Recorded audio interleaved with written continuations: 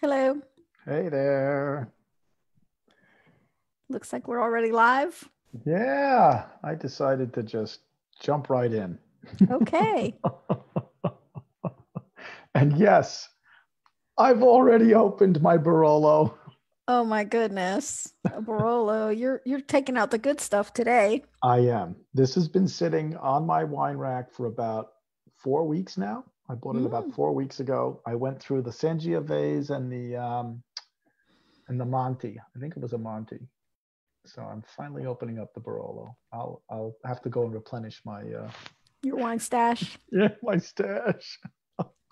We actually replenished ours today because I had I had some champagne from a tasting I had gone to that I had ordered and it finally came in. So we had to go pick it up today. Right. And uh, so we we restocked our cabinet. So we have lots of champagne. Yay. Curbside pickup. Uh, yeah, yeah. Curbside Okay. pickup. Um, my There wine. was a lot of people out though. Like, It's it's changing. yeah. It's changing. Um, I just did an interview with Chris Henry. He runs a hospitality lodging consulting firm out of Los Angeles, and he said, he said, you can tell people are done. They want to get out, and it's changing. Yeah. Do we want to invite anyone to our happy hour? Send our link. Uh, absolutely. I'm going to I'm going to go forward it right now on my page. I've been trying to alert people to it. Awesome. So let me just now it's in a group. I did it in the group today, so I want. Oh yeah, but I think um I, I guess we'll have to post it in the group. I wonder if it'll allow me. Joan Joan is watching. Maybe she see wants to Joan. join us. Joan, if you want to join us, I'm going to drop the. I'm going to drop the URL the Zoom link. in the group. Excellent. Ah, what a week!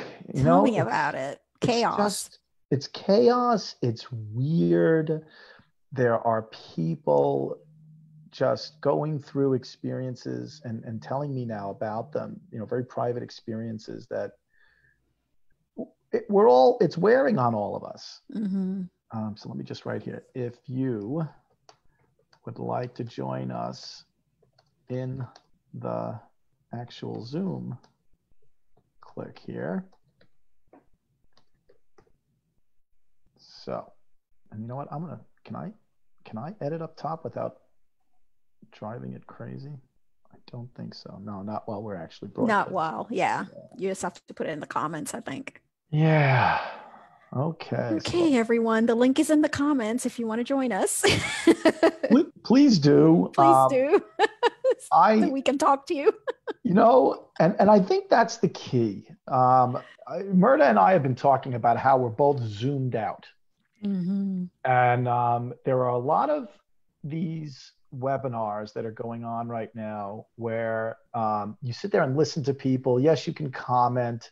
Um, some of the groups are more intimate, like Arival. Doug Quinby really knows his um, members of his company. Um, they're small tour companies that are part of Arival. Um, and so he has an active engagement with them and he talks to them and, and you know waves at them and and that i think is what i need from zoom meetings. I'm on too many zoom meetings where there's no engagement and it's just a bunch of people droning on and talking about um, talking about things at a level that's not intimate. And i think that's been a big problem for me because it just doesn't do anything for me. It's it's boring and it's Mm-hmm. it's dead. Hey joan. I think our audio is connecting. Yeah. But um yeah that i'm not i'm not happy with and i i could do with a lot less of those and i am not accepting invitations to to a lot of those Yeah, I've kind of had to like put a stop to the webinars. like unless it's something really like earth shattering, I'm just skipping it. Yep. Because it's just too much. It's like every day there's like five webinars about something that's remotely relevant and uh Excuse me. Excuse me. hey joan Yeah. hey, Hello, What? can you hear me? yes, yes, I I can. can hear you. Oh, it's Nina. oh it's Oh, it's Nina. Nina. Hey. Hi. Hi. Nina, if you've got if you've got systems issues, Myrna's the Uh-huh. person to solve your system. She sets up systems and processes like nobody's business. I had a Zoom meeting this morning and it went really well. So let's, I mean, I'm, I think I need to connect the video probably. Mhm. Yeah, and and there's something wait. about that. There's Is that what you mean by systems issues? No, you were saying that you needed somebody to help you organize your systems. Oh, oh, right. Oh, okay. I didn't know if you saw that yet. I did. Yeah, I we saw it. I replied to you, Oh, And he tagged Okay. me. and I tagged Myrna. oh, okay. Yeah, great. Maybe we can set up an, a different time Yeah. too. We can. Right. Absolutely. you may regret having offered that. Janine writes, if you have Zoom, you are not drinking enough.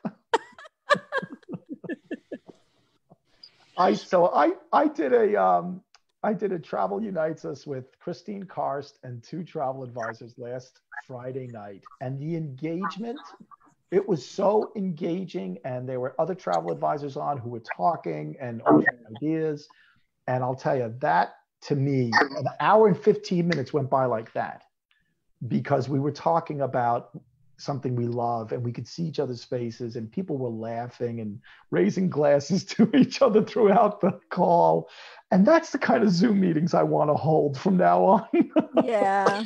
Oh, you got a pretty day outside down. You're in Florida, right? Yes, it is. It's beautiful today. It didn't, and it didn't go over 90, so we're really blessed.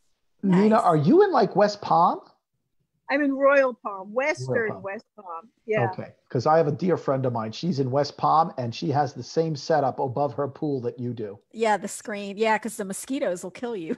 yeah Yeah. Well, I get them anyway because I have to get a bigger dog door because I have a 110 pound dog now. And I keep the doors open so he can go in and out to chase the squirrels in the yard. and he And brings in uh, the I know. loves to chase the squirrels. But yeah, it's a it's um it's nice here. I, Ah. I'd rather be in Peru, but I'm very grateful that I'm here. I know. I know. nina you and i have to go tag team on elizabeth hansen we got to get she's very she said I, I thought i might hear from her today she said she's swamped she's absolutely in um i've got so many people who are who i you know more and more people are are as i think of this and who can be involved but is she but she's you know she'll do it she's great Yeah. well we got time yeah it's just swamped. it's just i want to i want to get wilfredo on the radar screen as soon as i can. Yeah. Yeah. yeah well he'd love to. I, Yep. I so, so many people who would love to. Everyone is so Love, lovely man lovely man. He's oh rich he they're everyone that you meet from peru will you'll say the same thing about. You'll just love them. I have um kids who travel with us families. I don't know someone i saw something i think we're going to talk to someone about family travel the kids cry when they leave our guides Mm, that's sweet. cry. That's how I mean. It's just so. I mean, Wilfredo is just. he- Yeah, I don't mean he's just one of them, but uh, they're just spectacular people that you get to travel with, which is, I think. I guess you'd rather look at the pool than me, anyway. Either way, to- it's up to you. this week, my gray is this much. Oh my gosh. I well know. i'll tell you i'm getting a little bit vain because my my my very little bit of hair is growing in quite a bit and uh it, it looks awful when it when it grows into my, if i step out of the shower and my hair is still wet it's too long yeah. too long Hmm. Oh, me too. That's why I don't even put it down anymore because then the contrast is so b- bizarre. It's too funny. But I mean, because Wow. I had naturally black, almost black hair, so it's like you know, talk about salt. It's not even salt and pepper. I mean, it's like salt and pepper shakers, two standing apart. You know? i had i had naturally black hair up until about 22 years old and and then it mm-hmm. started going gray and I started losing it. I was very distinguished at 27. I think bald men are are very handsome. So thank you. Well, there you go. So, um, you know, I've I've been thinking about what to say today for a, a couple of days because I think I'm going through, and and I know I've heard it from several other people. Um, Nina and I have actually had this discussion as well. As the longer this drags out, it just seems to wear on you. Mm-hmm. And as much as we try to keep a stiff upper lip, as much as we try to laugh, um, and even some of us engage in gallows humor, um, it is. It's it, this is not easy. When something drags on for a very long time, and you don't feel like there's an immediate thing you can do to make it better. Um, depression can set in, and um, you know, on occasion in my 55 years, I have gone to see someone because of issues going on in my life. And uh, one of the best therapists that I had, she said to me that depression is the absence of hope. It's not sadness. It's it's the absence of hope that things will get better. And that to me is a very good segue into um, a little story I wanted to tell everybody today because um, something happened to me approximately four years ago. I had to do the math. Um, that I have been holding on to ever since, um, especially when things get dark and especially when I feel like there's no hope. So I'm just going to quickly tell you the lead into the story, then tell you the story itself. And I hope what you take away from this brief um, little exercise here is that even on a day where you're living in some kind of darkness where you're you're dealing with something that just there doesn't seem to be any silver lining in any of the clouds above you. There are it's about our perception and it's about the energy that we gain from changing our perception.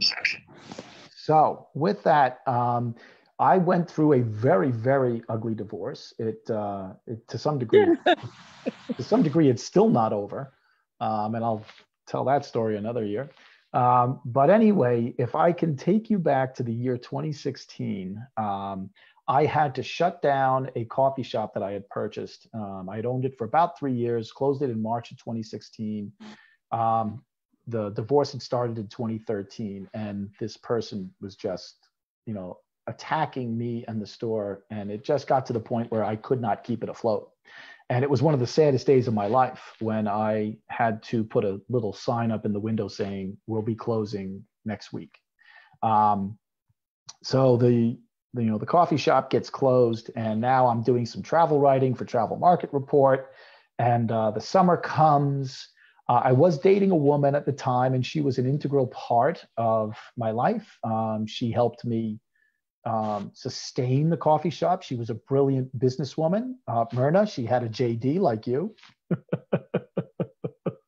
she was a lawyer by training um, and just really a, a, a, brilliant, fascinating person who actually also turned me on to Italian Reds.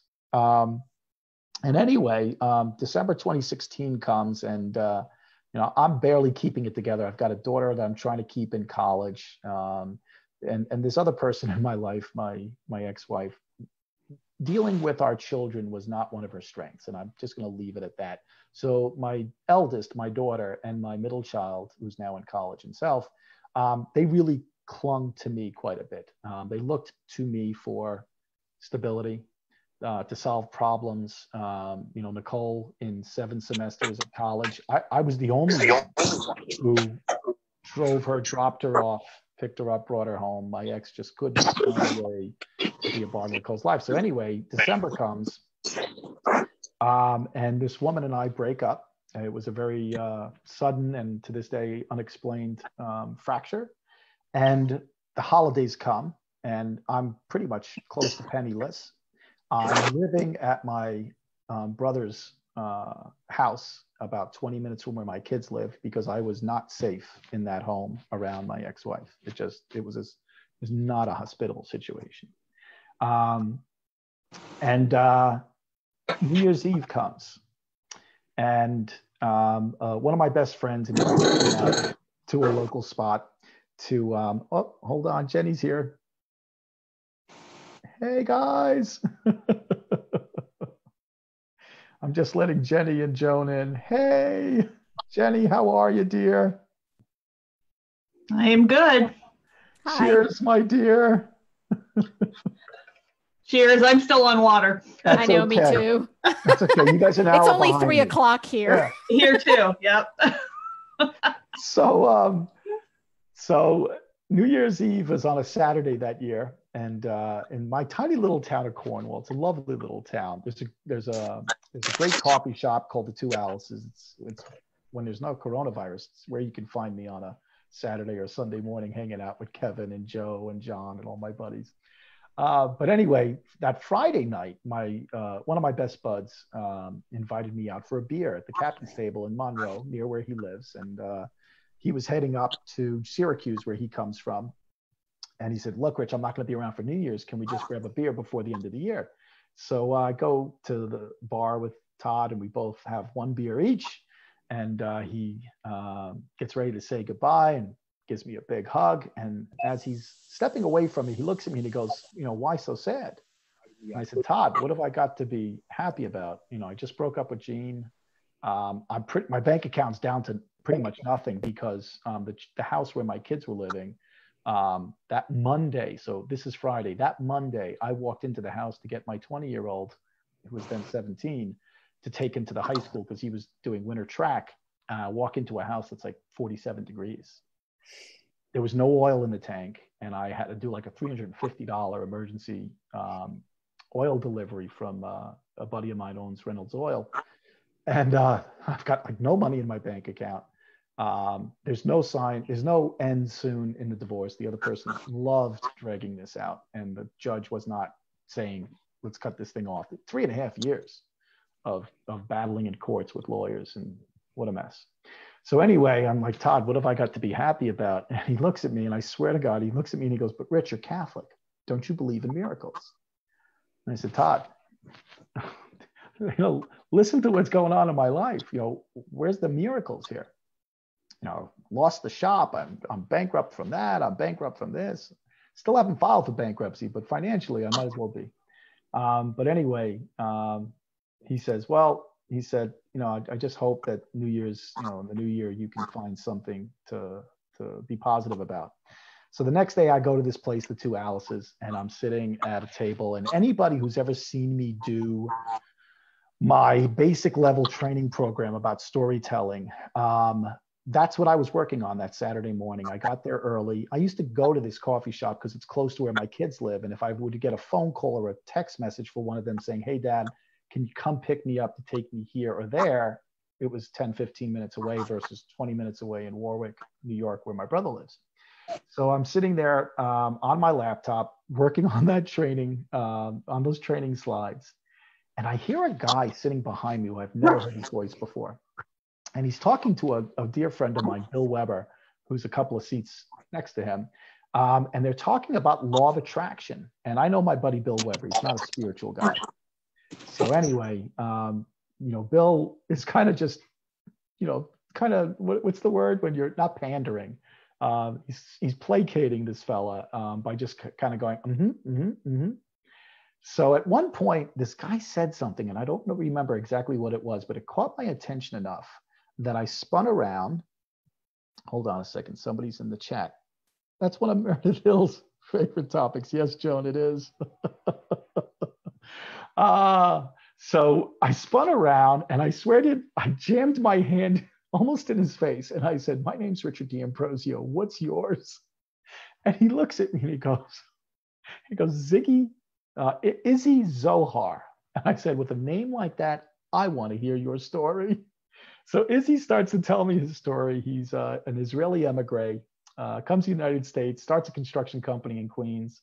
Um, he tells me, he said, Rich, at the height, I, I, was worth millions. I was building buildings all over Queens. I'm making money. I got trucks and crews and everything's going great. He said, and then my wife files for divorce.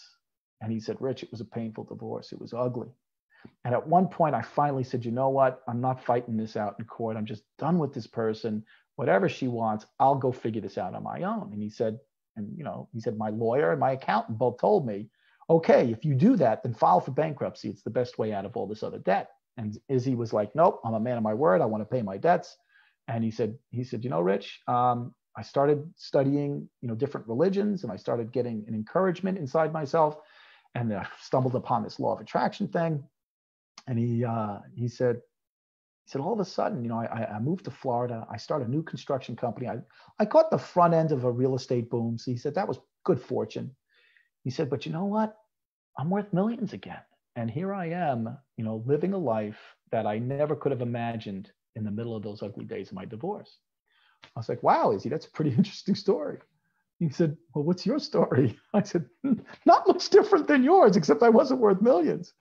And I tell him pretty much what I told Todd the day before. And, you know, I kind of bring Izzy up to, you know, the moment, New Year, and this is Saturday, New Year's Eve. I bring him up to that moment. I'm like, you know, I just broke up with this woman who I just adored, and I, you know, lost all this money, and this business closed, and who knows when the divorce is going to end. I'm telling him my tale of woe. And uh, he goes, Rich, you know, I, I, really would love to continue this conversation. He gives me his business card. Um, he said, but my son lives here. He said, and the reason why I'm up is to see my son, and we're about to go to brunch. He said, so really lovely, you know, meeting you. Um, you know, let's try to stay in touch. And as he sticks out his hand to uh, to depart, he looks at my face and he goes, Why the long face? And I looked at him and I said, I just told you my story. What do you mean by the long face? He said, Well, he said, You're Catholic. Don't you believe in miracles? And now I'm hearing Todd's voice from the night before. And it kind of caught me as weird. And he goes, Rich, he said, miracles happen every day. Don't lose your faith in miracles. Okay. New Year's Eve comes and goes. New Year's Day, I'm at my brother's. Uh, I was living out of the den at the time on the couch, and um, and New Year's Day dinner goes uh, to four four thirty at at Lori and Greg's house, and um, Lori and Greg don't really raise their children by faith. My my brother Greg is an atheist, and Lori is a cultural Jew. She's not a practicing Jew, and um, and so they really haven't raised their kids in any kind of spirituality. And they thought that I was a fairly novel person being in the house because I studied the Bible for four years with the New York Archdiocese. And I've got, if you come into my bedroom, my bookshelves are just lined with spiritual books, everybody from Martin Buber to Abraham Heschel to Thomas Merton. Um, so uh, they always thought that Uncle Rich was kind of cool because he would talk about things in a way that was different than his parents. But my brother and my sister in law raised my nephew and niece, Rebecca and Stephen, raised them in a manner that I wouldn't have raised them in. So, like at seven, eight years old, Rebecca was watching movies like Saw. Does anybody here know the movie Saw, the series? Saw is about this wacko serial killer who, who, who kidnaps people, chains them, and then gives them a saw and says, if you want to survive, you got to cut a body part off to leave. So he would chain their arm and they'd have to cut their own arm off in order to escape. This is what my seven, eight year old niece is watching. Stephen is a couple of years older than her, so maybe he was 10 at the time of this story. So New Year's Day dinner ends, and Rebecca says, Uncle Rich, will you watch a movie with me? I'm like, oh my God, I'm already depressed. The last thing I need to do is watch some guy torturing people and cutting their bodies up. No, no, no. She's like, please. So, you know, I'm living in my brother's house. I'm like, okay, no, I, I got to do the right thing. I'll get through this. Maybe I'll fall asleep.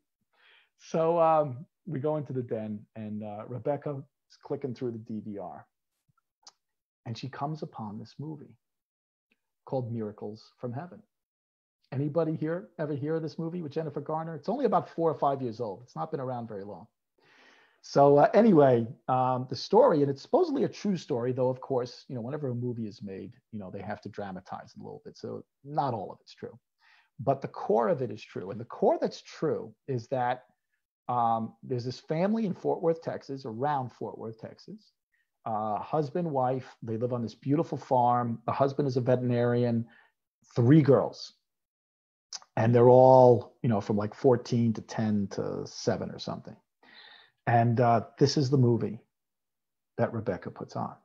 So the movie is about, and I'm not going to, I hope I don't ruin it for anybody, but the movie is about the middle child comes down with a stomach disorder that's fatal. And it's a very rare disease. Um, and uh, the only doctor in the country at the time the story happened, I don't know if since then, if there's anybody else studying this disorder, but the only doctor who was having any success in mitigating the symptoms, not curing people, but mitigating the symptoms, is this guy at uh, Boston Children's Hospital. And so uh, somehow Jennifer Garner, this mom, forces her way into this man's program. His, his office had told her, We're full up. And the only way that a spot opens and and you're on a waiting list with hundreds of people, families in front of you.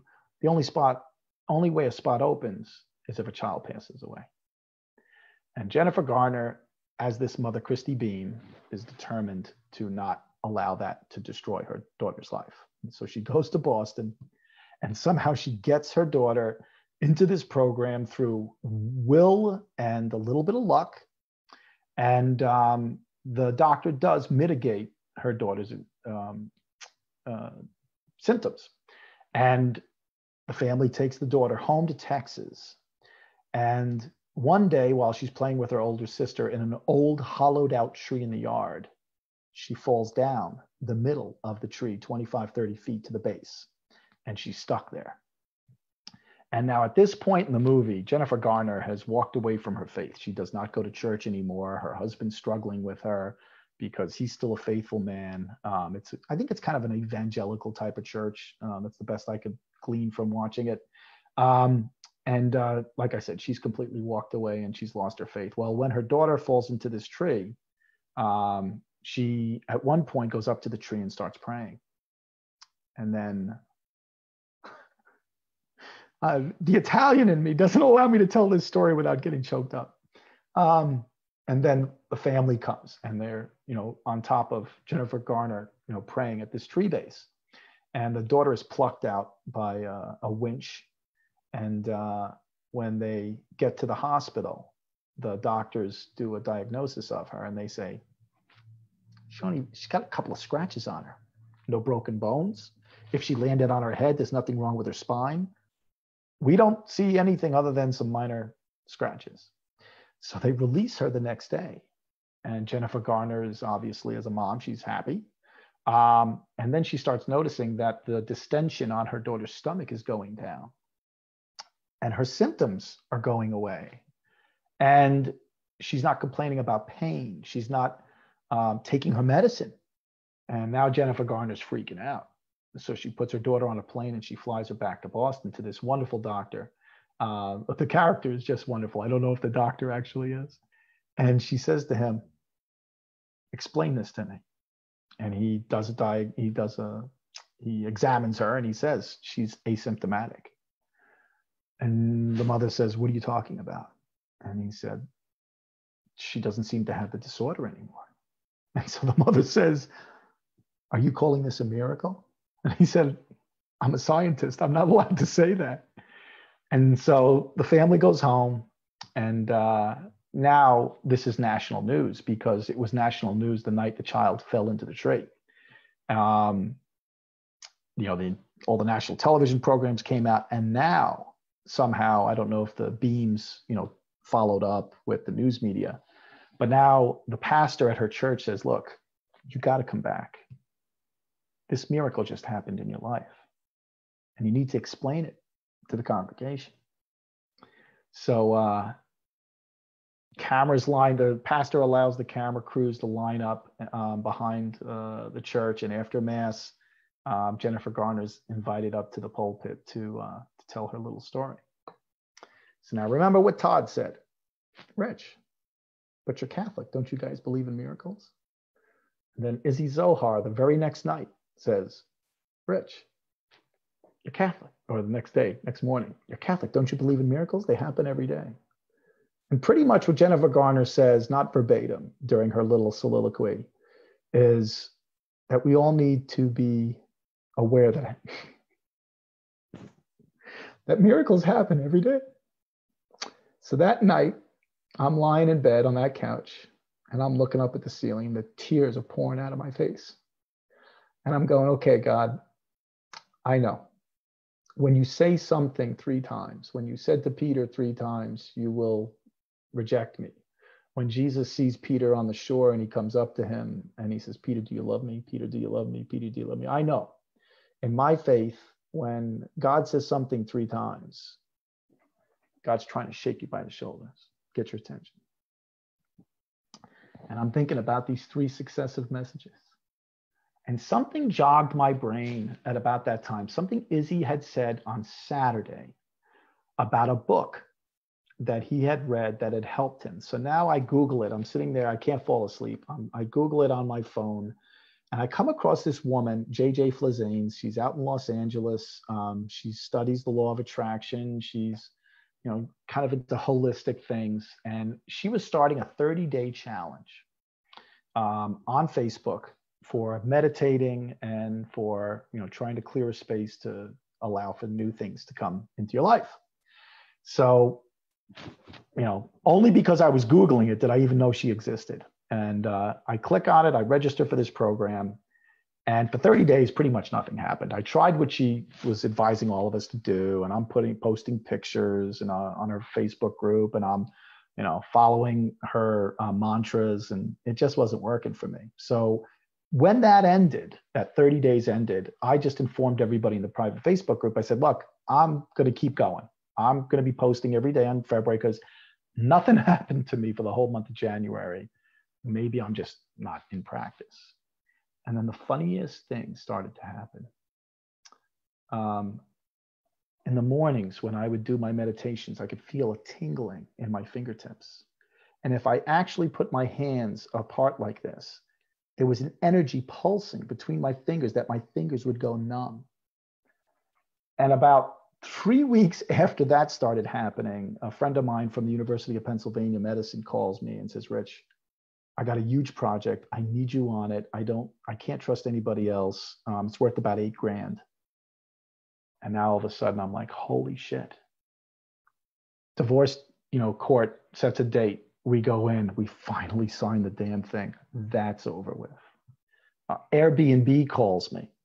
I have a friend of mine who was working at Airbnb at the time. Rich, I got a project. Can you can you write a couple of things for us for corporate travel? Six, seven thousand dollars from that. And all of a sudden, things are changing in my life. Um, my daughter and my son, uh, my daughter was away at college in March. Um, she moved in with me when she came home from college. She moved in with me full time in this this lovely two bedroom apartment that I have. Um, my son Christopher moved in. Uh, Tyler goes back and forth between his mother's and mine. And all of a sudden, things start to change in my life the best part was that I was at peace with the past. I'm not angry at my ex for what happened during that divorce. I'm not. I'm a little upset when she does things today that I now have to go deal with, and I can't put more money towards my son's college tuition or something else. But you know what? I've come to a place of peace and optimism that I think I always knew was there, but for some reason, I needed God to shake me on those three successive days. These three little messages about miracles to not stop believing that things could get better, because that's where I was at that point. Things can't get better. They'll probably only get worse. And, you know, who knows how bad things will get. And things were pretty bad back then. So I guess the moral of the story um, for anybody who's really struggling right now, you know, you've you've had to give away tens of thousands of dollars in income, let alone the hundreds of thousands of dollars in sales. You know, I've been on a couple of webinars this week talking about when is travel going to come back. And, and there's not a lot of certainty around that. I mean, there's there's some people talking 36 months before we get back to what things look like, you know, the best part of 2019 36 months maybe longer and that can wear you down. It's just just being lo- landlocked like this you know getting up every morning and saying you know what? For the sake of society i'm going to go for a walk. I'll go to the grocery store. When this bottle of barolo is empty i am going to go get another one. But otherwise i don't get very far afield from where i live right now. And it wears on you. But here's what I can tell you is that mir- little miracles do happen every day. It's about how you are going to look for them. It is about how you are going to put yourself in a mindset to realize that your buddy who's asking you out for a beer is a messenger from God that Izzy Zohar, who to this day I have never seen again. My daughter found him on Facebook because for a little while I was thinking that Izzy didn't exist and I made the whole thing up. you know how when things happen and like a couple of years later you're like, did I did I come up with this to kind of rationalize this whole weekend? My daughter found him on Facebook. She's like, Dad, is this him? Yeah. And guess what? I found his son who does live in Cornwall too. they do happen every day. And so, you know, it really is about mindset. It's about perception. It's about it's about trying to find a way and and we do this in the catholic faith. We have this thing called the examen e-x-a-m-e-n it's done by the jesuits and, and it's something usually done at night where a jesuit mostly priests um, will take a look at the day that they've just lived and say where did i see god? You know where did i act the way god wants me to act? Where is the way that i didn't act the way? So they go through this thing called the examen and it's about finding these little miracles. And what that eventually does is it when you're in that kind of practice, it's the, the bad days are less bad, they're less difficult to get through. And I think you can create positive energy that'll pull you out of something.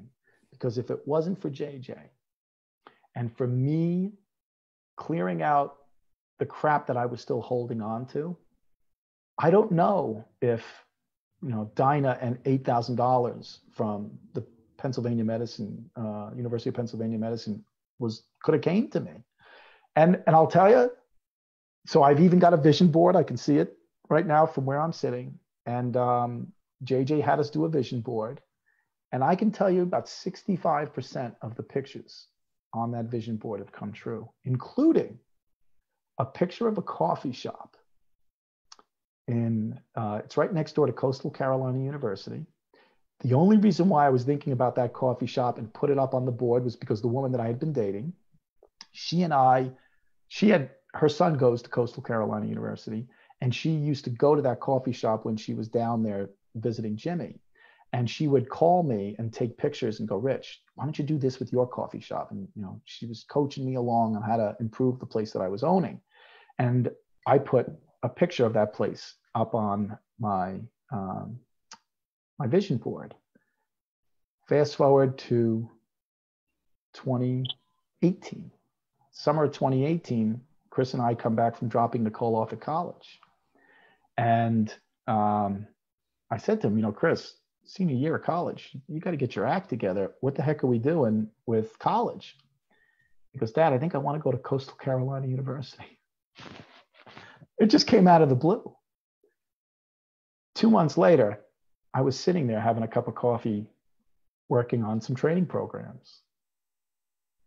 This is real. I know it's hard to believe, and I know I sound like a whack job, but I really do believe that when you put intentions out there that are about the things that make you happy, you know, the hopes and dreams that you have for your life, that happened to be specific. And sure enough, Chris pulls Coastal Carolina out of the the blue of thousands of American colleges he could have chosen. That's where he wanted to go. I really do believe in it. And hopefully that gives you the ability to take more control of your life and not think that you are at the whim of coronavirus. You are not at the whim of all of this misery that we're going through. You still have some semblance of control. And it's about the energy and the intentions you put out there. Um, I will always advocate for that because I've lived it the last four years. So I raise a glass to all of you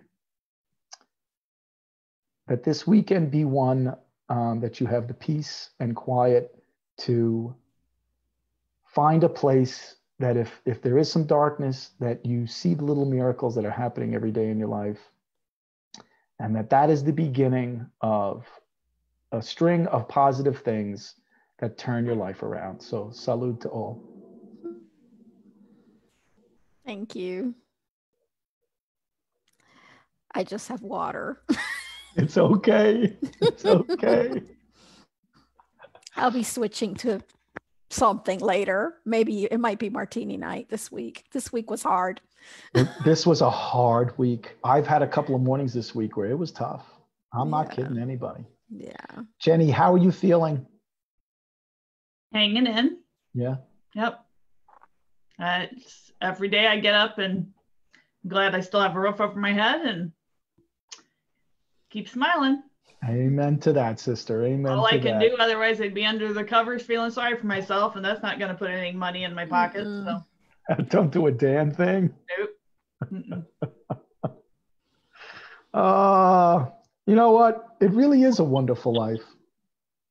It really is. As as gray and dark as it gets, it is a wonderful life.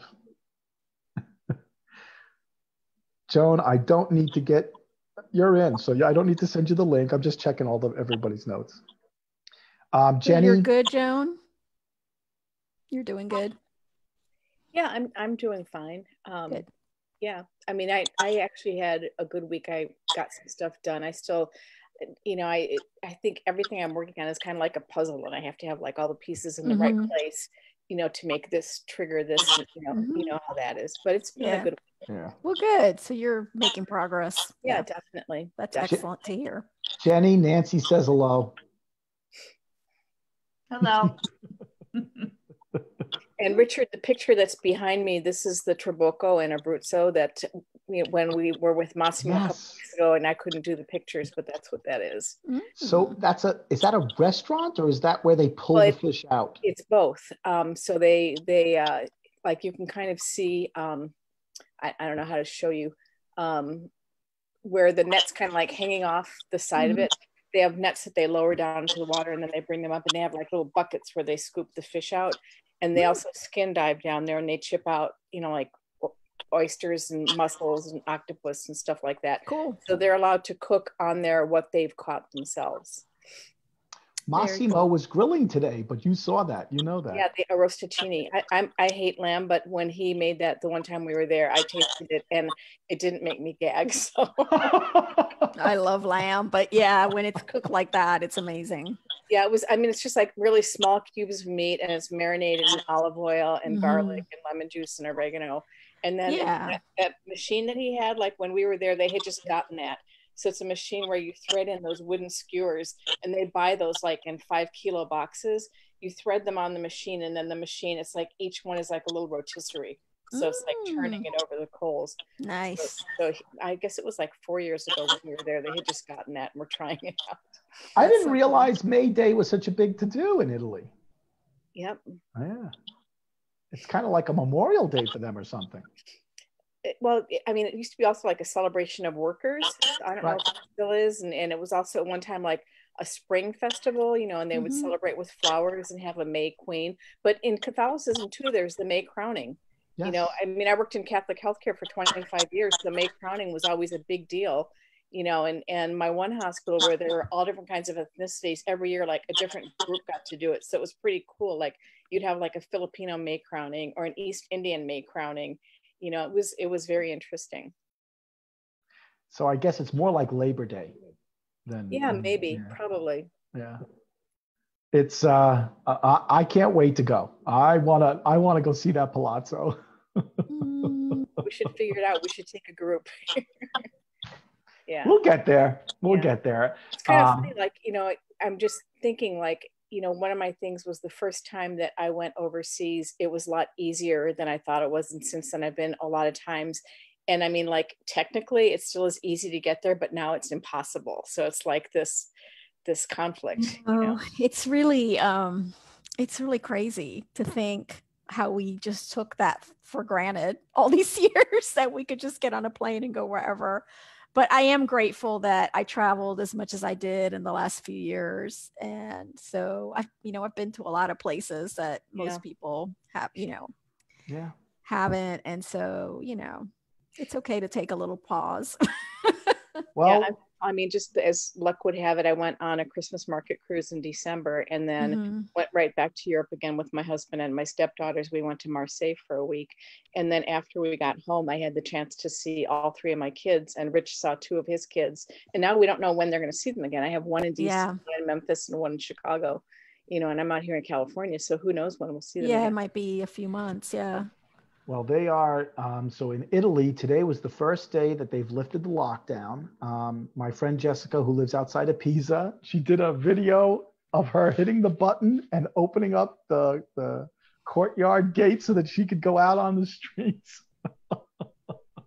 so there's a little bit of sunlight there. The Italians are trying to see what they can do. Um, My Mhm. daughter has said something about coming over here from from Beacon this weekend. She's like, Dad, what if we just set chairs up out on the grass outside, stay six feet apart? I'm like, sure. Your father's not going to deny uh, having you uh, having you at his home. Good gracious. So, you know, there are some good things happening. And um, we, we've just got to hold on to that. We've just got to, you know, it's not going to stay this way forever. And, and when we finally get back to living a normal life, whether it's, you know, traveling to Disney World or flying to, you know, Naples, Italy, yeah, there'll be some new things. But maybe those new things aren't going to stay around for very long because this disappears. And, you know, we will. We'll get to herd immunity and we'll have vaccines and we'll have, you know, new ways of living that keep us safe. And that that's what I'm looking forward to. I, I'm not sitting here going, the good the good days are over. Bullshit. Just bullshit. I'm not I don't believe that for a minute. Nope. Nope, we'll we'll be okay. You know, we've been through enough. we'll be able to to live the way that makes us happy again. It's coming. Yeah, we just don't know when. Don't know when, and then it may be different. And what will that be like? You know. Yeah, there's a there's a newsletter I get from this author, Austin Kleon. It's a great newsletter. It's um it's Oh, always follow like him on weird. Twitter. Oh, I love him. Anyway, he today have to this week's him. newsletter. I- I'll forward it to you so you can subscribe. Uh, one of the links was a blog he wrote. It was basically like no one knows anything. was the name of the title of the blog, and it's really so true because you have all these like experts out there saying, "Well, I think it's this is going to take eight months, and I think it's going to take twelve months, and I think we'll be traveling in September." And truth is, no one knows. No one knows anything. All we can do is speculate, look at some data, but nobody really knows. And I think we just have to accept that. just go on. just worry about like like like Joan is like focusing and working on her business. Yeah, and stay busy with that and you know, whenever it does end, you'll be in really good shape. You know, I think that's really the most productive thing we can do right now is is just focus on what we can control. Absolutely. And and don't dwell on it. You Yeah. know, just just you can't dwell on it. I I don't know about you guys, but I only watch three press briefings, and I hope this doesn't get political. I only watch three press briefings a week. Monday, Wednesdays, and Fridays around 11 o'clock Eastern Daylight Time is when the WHO has their briefings.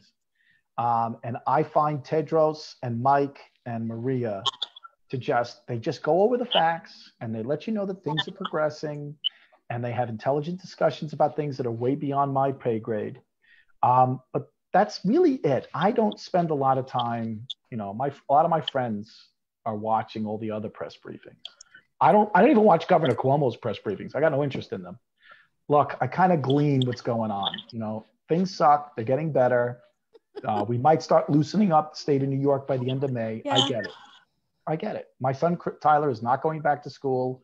You know, schools are closed through the end of the academic year this year, so he'll finish off, you know, in June online.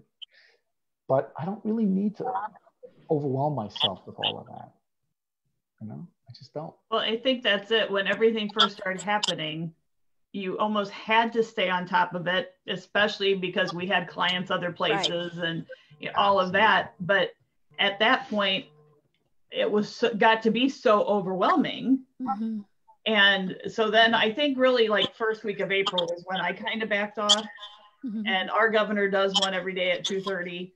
But if it's going to be anything important, the Chicago Tribune puts out information beforehand Mhm. so I know if I need to tune in or not. And Yeah.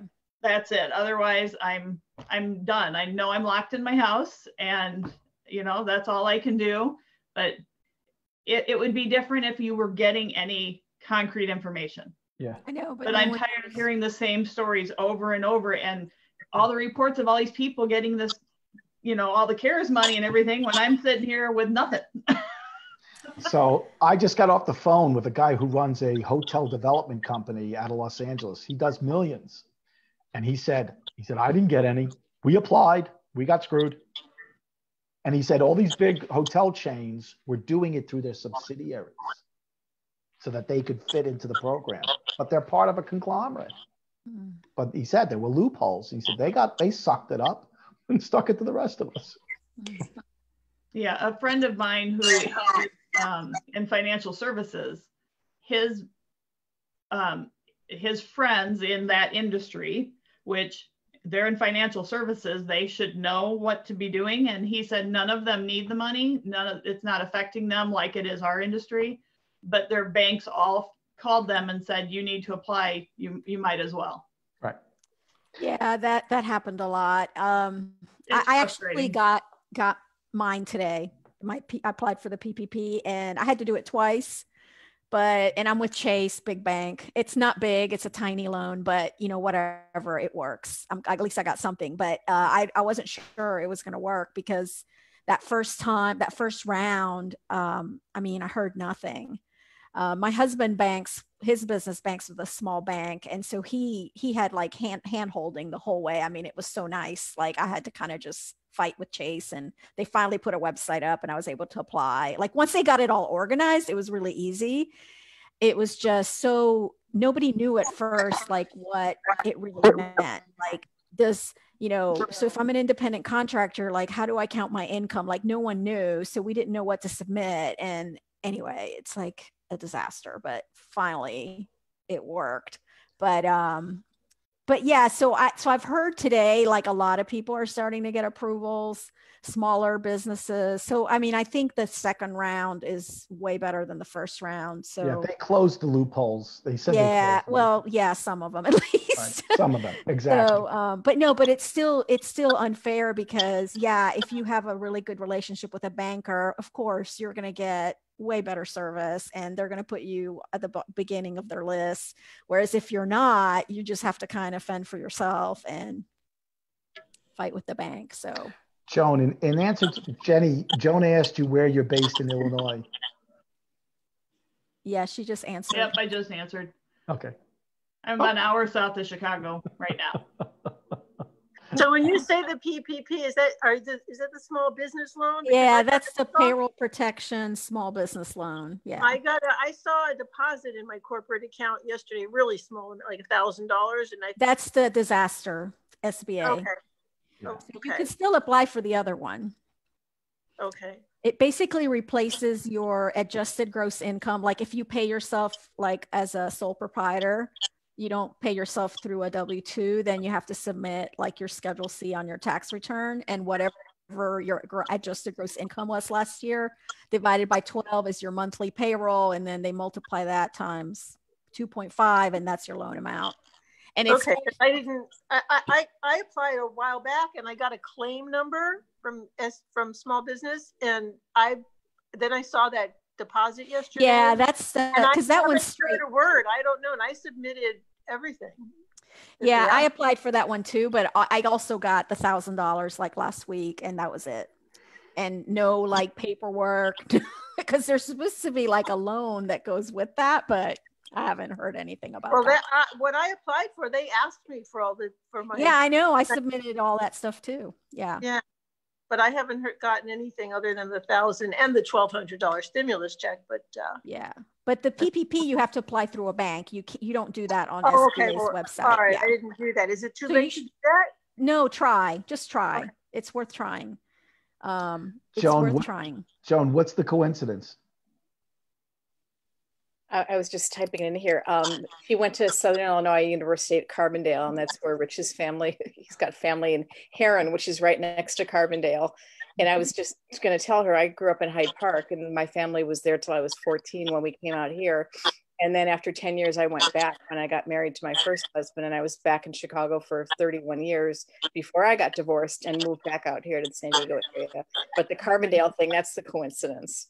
Well, Jenny was on a call with me about five, six weeks ago with a kid who lives in Manila, the Philippines. And he goes, he went to SIU. Always a Saluki. so there we have our three things, right? there you go. Look for threes. The Definitely a small world, that's for sure. Yep. well, I do hope that everybody can can genuinely laugh inside. Um, I, you know, my favorite one of my favorite phrases is if you don't laugh, you end up crying. so to me, it's better to laugh.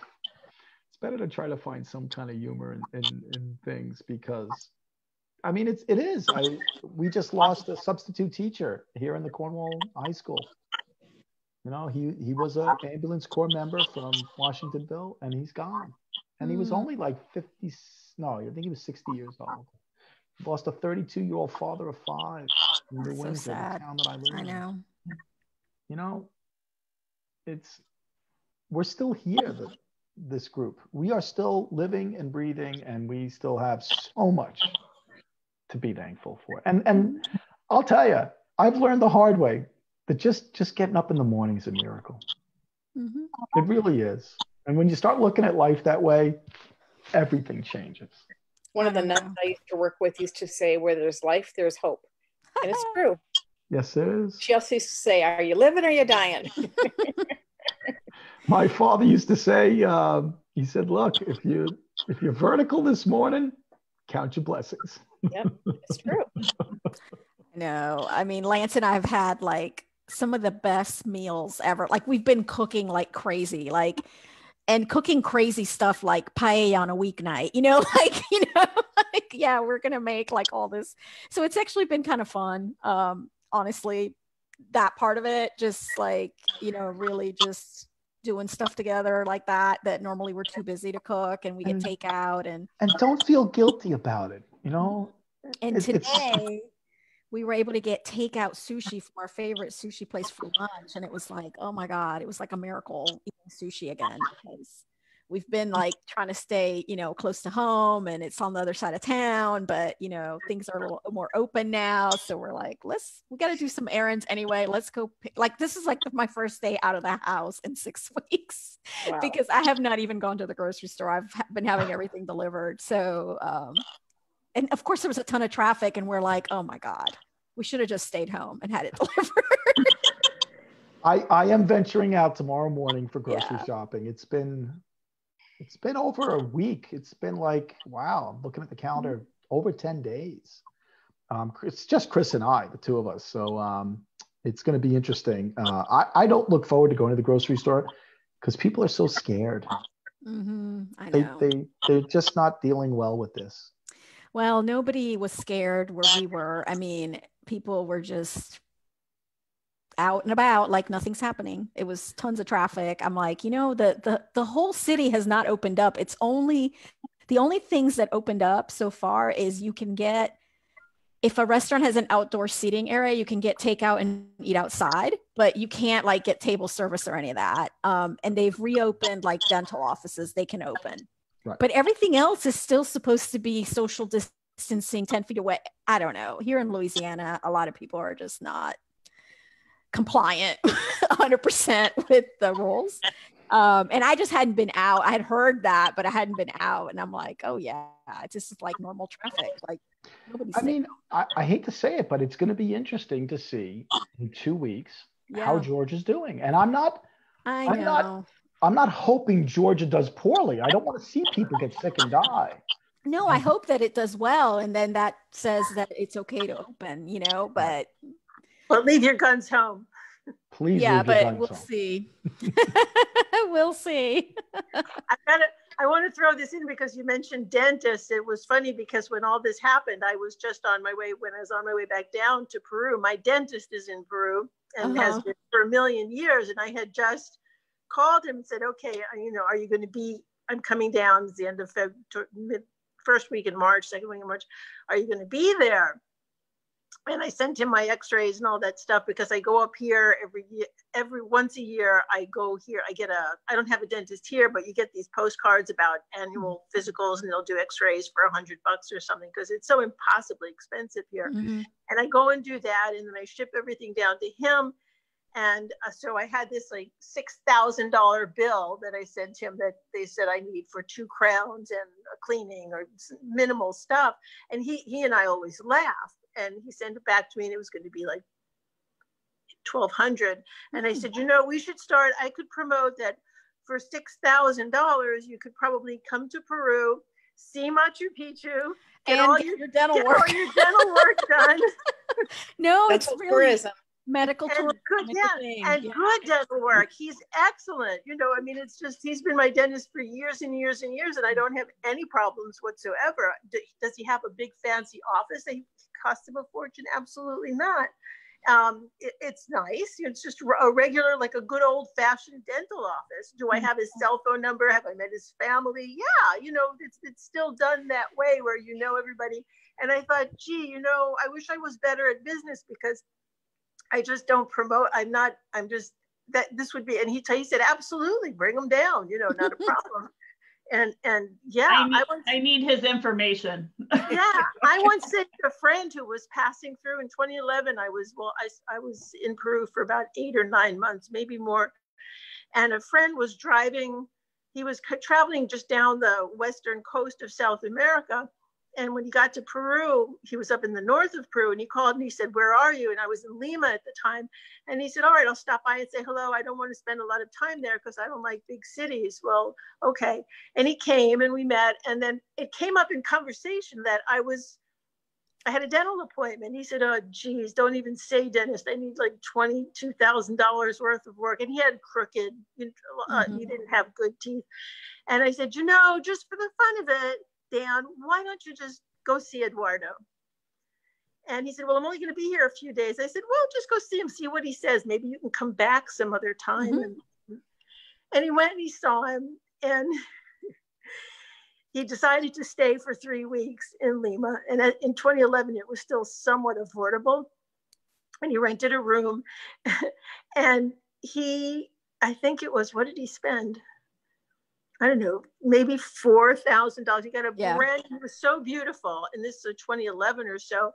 To this day, um, and he fell in love with Lima because how can you not love Lima? I know I like Lima a lot. Yeah, it's a great and, city. Yeah, and and he was amazed, absolutely amazed. And it's like Eduardo says, he said, you up here was he said medicine is so corrupt. Mm-hmm. And he's his wife is born in the United States. She's they've I mean lived there forever. He's Peruvian. And uh, it's just amazing to me. So I wish I, I was better at business with promoting stuff. I'm just all I can do to just do my little thing that I do. but um, yeah. I have, I have I have two friends who are Americans who live in Mexico, and they tell me that Americans who think that we have some kind of special health care in the United States are fooling themselves. Mm-hmm. One of my friends lives in Playa del Carmen, and he said he went for a dentist appointment. Between the X-rays, the actual surgery, and the follow-up, he said I was I was in in and out for under two hundred dollars. Highly qualified young lady was his dentist. All the equipment was brand new. And then another friend of mine used to live in Austin, Texas. He lives down outside of Puerto Vallarta, about an hour and a half north of Puerto Vallarta. Um, and he tells me all the time because him and his wife they moved because healthcare was too expensive in the United States. And it is uh, really expensive. between the drugs and the doctors being just as qualified as American doctors, he's, he said, Americans and and my friend Mark is a Republican and a conservative. He's not a you know, he's not a, oh, the world is wonderful kind of guy. He, he did his research before he moved there. And he said, America's screwed up when it comes to healthcare. It's really yeah. screwed up. It's funny living here in the San Diego area. There's huge buildings just south of the border that are dental complexes, and a lot of people who live here go across the border for their dental work. And I, I, have a funny dental story. Again, I think it was the second time my family went to London, and my husband had a toothache, and he's like, "Oh my God, I'm going to go have to see a British dentist." And he's like, you know, horrified out. And he got there, and the dental office in London had equipment that was way more modern yeah. than the dentist he'd been seeing for 20 years in Chicago. So, and, and a lesson there. I know. It just Americans need to broaden their minds a little bit. I know. I, I was in Florence one time. It was before I was in travel. I was doing um I was taking a course in archaeology at one at the university during the summer for like I forgot you studied archaeology. and uh and anyway, I, I before the class started, I spent like a week in Florence by myself. Like Lance and I had gone to Turkey and then he flew home and then I had like this week in Florence in between. So I said, "Oh, I'll just rent an apartment and hang out." Well, I get strep throat and I'm like, uh, you know, and of course I had no travel insurance, you know, because whatever. So I didn't have a travel agent. so yeah. I literally, um, but I had like a guidebook, Lonely Planet or something. So I, I went to the back and it had these contacts. Oh, if you need an English speaking doctor in Florence, here's some names. So I called this guy up and went to see him, and it was like 50 euros for the entire thing. He tested me, he gave me my drugs, and no insurance, nothing. He's like, oh, 50 euros. He's like, yeah, I'm from England. My wife is from Italy. We fell in love, blah, blah, blah, moved here, and now I have this practice. And I basically just work with tourists that get sick when they're traveling or students who are studying abroad who need like an English speaking doctor. And anyway, it was amazing. I was like, oh, this would have cost me like 300 bucks with insurance back home. Yes. yes. So yeah, I, I no, I agree. It's it's so Nina, I think you're onto something.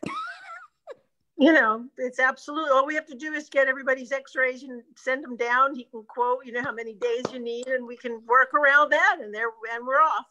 Berta, yeah. have you been to northern Peru? You said you, you like I have not. I have not oh, been to God. northern, the really northern part. I've only oh. been to uh, Machu Picchu and like you know, I did my dig at in the Sacsayhuaman National Park area. Um, that was like in 2010 and uh, but no there was a program at lsu where i was studying uh, that had uh, a dig up north um, but anyway it didn't work out so so Myrna, you're like the Renaissance woman. You're an I am. I didn't know an archaeologist, a sommelier, oh my God, a travel advisor. I, can, I, know. I, I do want to go uh, back to Peru. I love Peru. The north, the north is just it's well. First of all, you know Peru because it's so diverse. It's like mm-hmm. every country in one. But the north the civilizations are so much older. Yeah, and, no, I and know. It's, and it's more of a mud brick pyramid. There's no stone complexes yeah. except for Chachapoyas, except for Kuelap, the sister city to Machu Picchu that was stone because it's high enough. Um, it, it's crazy stuff. I can post photos. It's just crazy. Yeah. So one of my friends actually worked on a site up like while I was doing my stuff in Cusco, she was actually in the north doing a similar thing with a different project. And so, yeah, it's amazing. Um, yeah, I went because I was asked to speak. I was part of a group with a bunch of um, other people at, a, at an archaeology conference, and it was 2009, I think. So we traveled with the Ministry of Tourism. So we did get to go on on a few digs. Yeah, it's really fun. see how they do it, and then we got into these rooms full. I have photographs just packed floor to ceiling of mummies that they had not yet even started to look at. Mm-hmm. And it was just, it was really fascinating. But yeah. it's so crazy because people, were they mummified intentionally or was it because of the climate like it was a natural process no these were all found on the digs yeah but but yeah, I don't know how they died. I don't know. no, but I mean, like, were they wrapped up like a mummy, or was it just like their bodies were desiccated? Many of them were. Well, mummies were not wrapped up in Peru. Yeah, there's a place like that in Mexico, I think, outside of Oaxaca, where they had that, where they, you know, buried people, and there you rented the barrel space and after so many years if your family didn't pay for it they dug you up and they found all these preserved people and i don't know if they still have it but they had this museum where you would go up and they had all these like desiccated bodies like lined up against the wall yeah, I, mean, I, I can post lots, kind of, of lots of pictures of mummies. I mean, they are just still the hair; they're all dressed up. Yeah, they're, they're, I, I didn't. Yeah, no, I would love to see that. Yeah, yeah. I went to the one in Arequipa, the little ice maiden. Uh-huh. I went to that museum. yeah, I got I got down I got down to Arequipa, but I didn't get to the north. So, but I yeah, Peru is a great place. I've sent clients there, but um I haven't been back since. Well, if you ever get clients who ask, let me know. I can really I will. The, yeah. the back the back ropes. But I posted some, a, a, beautiful video a couple days ago of the Uros floating islands on Lake Titicaca. Oh yeah. That's, yeah. that's but it's done by Titilaka, which is my favorite hotel there. Although I'm really angry at them. It's a story for another day. I, these hotels are starting to have when you on their websites, on their home pages, you know, the benefits of booking directly with us. I know it's not good.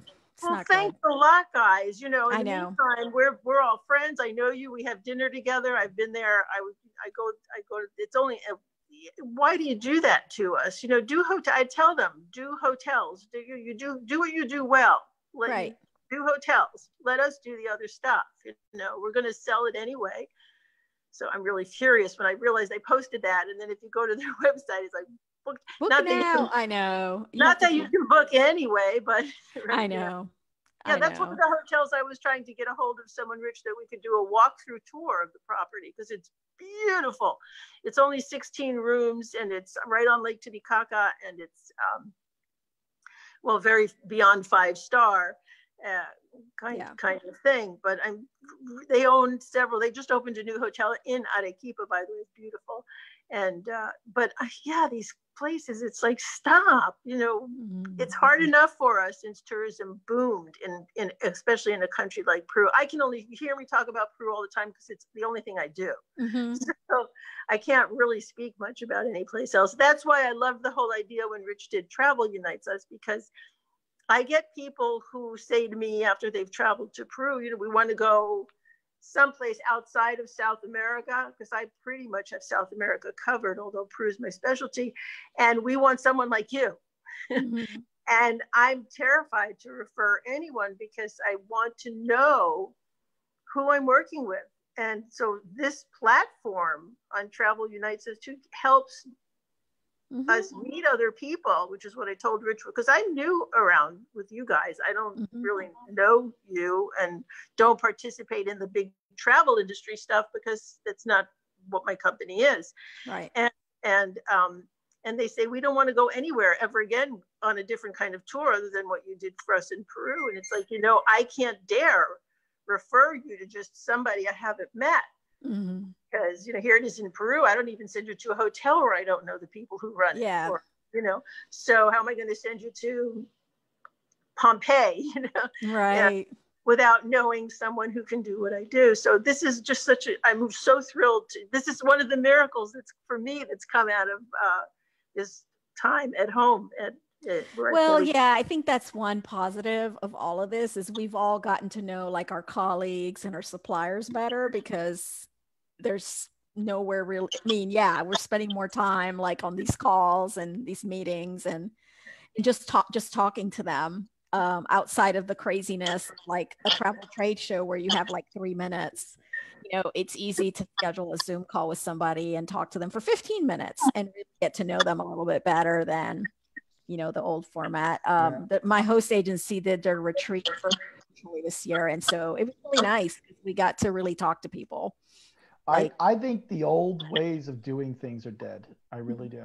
I, I frankly, I have no interest in sitting in on webinars with people who are just removed from me and it's, you know, 70 of us and I'm done with that. Uh, it just doesn't, it doesn't keep my attention anymore. And I can't understand a consumer who wants to sit through a sales pitch from, you know, a corporation that way either. I think, mm-hmm. I think we're embarking into a new world.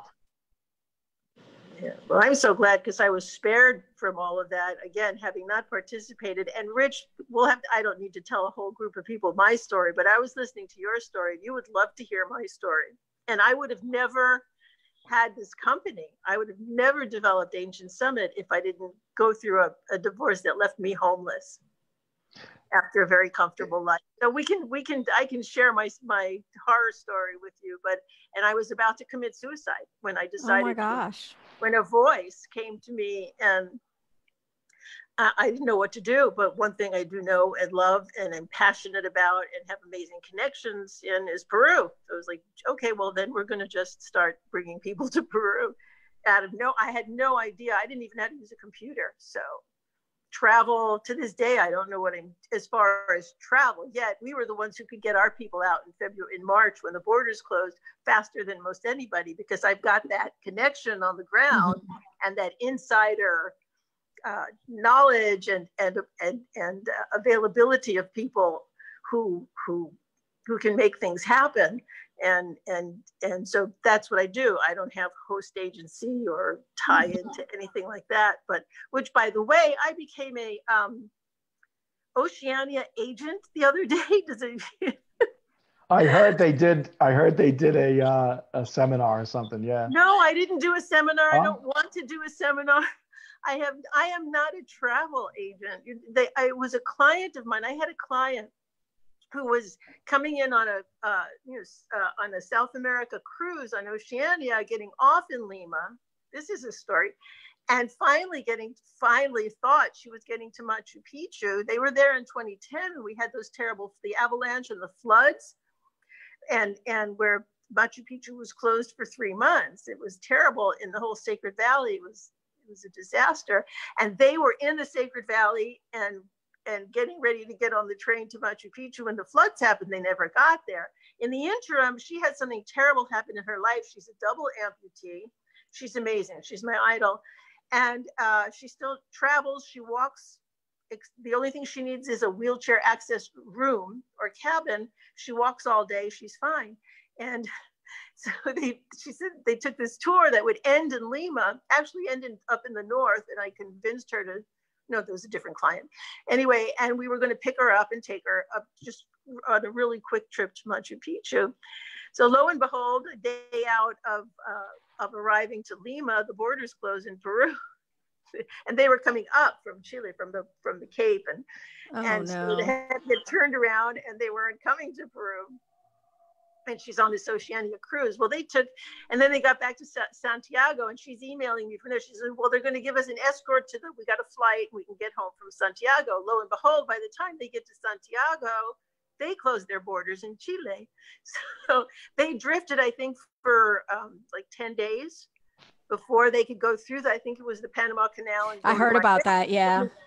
And she would email me from the ship and said they had 100% all provisions, everything, all in- entertainment going on as usual. I guess it's the benefit of taking a, such a uh, high end cruise. Mm-hmm. And no one had come down with any symptoms. So she said, I don't know if I want to get off the boat or not. Go back, go back to yeah. America and all the craziness. Yeah. But um, as a result, because she lost part of the cruise, Oceania gave her credits and she said, Look, I booked a, another tour that'll end me in Lima for November, and I booked something over in Europe for uh, uh, next April, but they want me now to name a travel agent. Can I name you as my travel agent? I said, Well, okay. You know i don't know what that means but sure. The next thing i have this mountain of paperwork with their reservation numbers. I have no idea. I sent them to her and my client. I said you know i don't know what i'm supposed to do with this stuff but here it is and here's your and and i, I don't know i uh, I, it looks like at the bottom that they pay very nice commissions. They do. I, they do. I have, You'll be fine. They're very helpful. The reservations people are super helpful. Just call. Yeah, I'm going to call them because it said something about signing up, forming an, an account, and it says, "What's your agent number?" And then nowhere on that document is an agent number. So, as far as an agency number with with uh, Oceania, I have my seller of travel license and all that stuff. So it was it's like I don't want to sell more travel. I no, I shouldn't. That's the wrong way to put it. I I I'm not a salesperson. I can only sell to you what I know and love. And if right. it goes outside of that realm, most I, most most good salespeople are that way. Yeah. So, which Jenny. I don't know, Rich, if, and Myrna. Uh, it's hard for me to say Myrna. I'm so tempted to say Mirna because it's a which Spanish is fine name. because it's fine. That's the Spanish version. Yeah, and and uh, you know I speak Spanish a lot during the course of the day. Yeah. So um, I guess Rich, you heard me when I was Wilfredo. It was weird for us because Wilfredo and I usually speak in Spanish, so it was weird for us to be speaking with you in English that day. We did the tour. The we visited his home.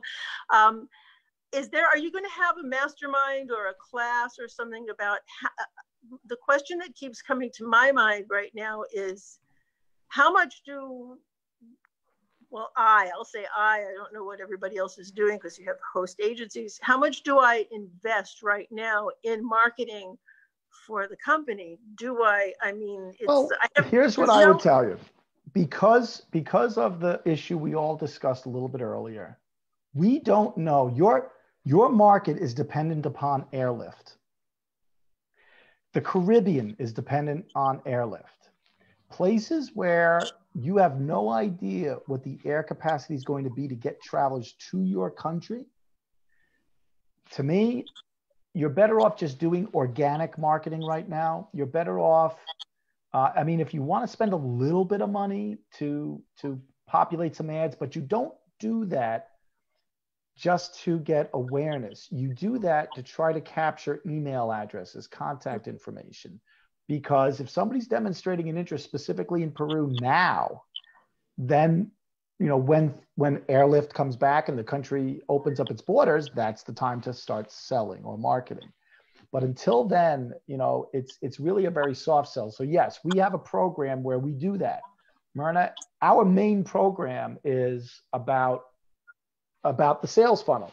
How do you how do you take your personal brand, gain awareness, put people into the sales funnel through the tools that you know mostly social media allows to use, and then start to have a conversation with people so that you engage them, and then when they're ready to buy, you know they know, love, and trust you. So that's kind of what Myrna and I do for a living.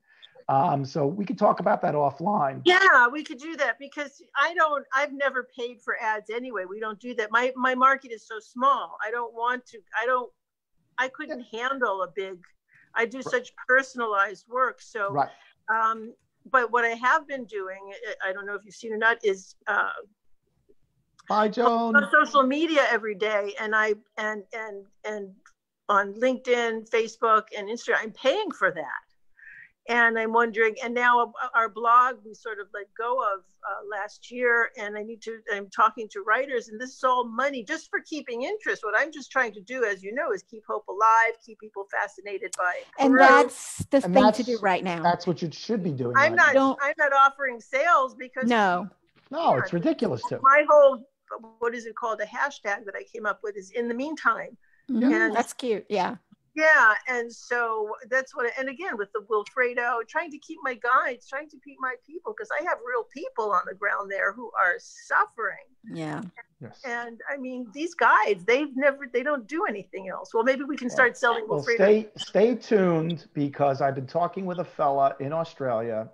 He is trying to start a program where tour guides and their families can make some kind of money producing um, uh, content for children to stay engaged while they're in lockdown at home. So I'll I'll talk to you about that in a little bit.